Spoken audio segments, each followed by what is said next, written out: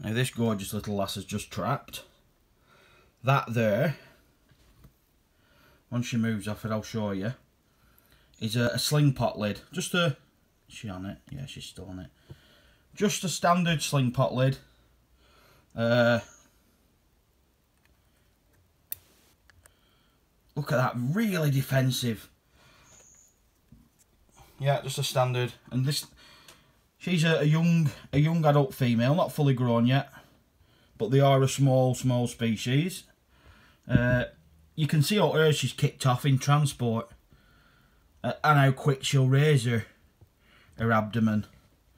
But also, uh, she tried to, she tried to, uh, she tried to bite the tongs when I were unpacking her. I don't think so with such a tiny little gorgeous lass. What she did.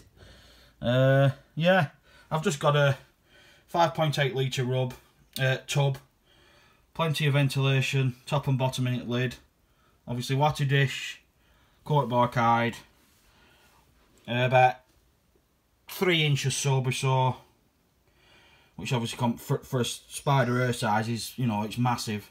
It'd be like a, couple, a foot or so for a normal. Uh, and some fake plants. Uh, what a little cracker.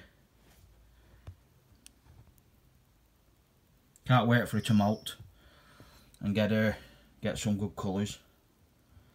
And thankfully, due to her ass kicking escapades, I'll be able to see when she's going to molt. You know, sup, sweetheart? What a little star.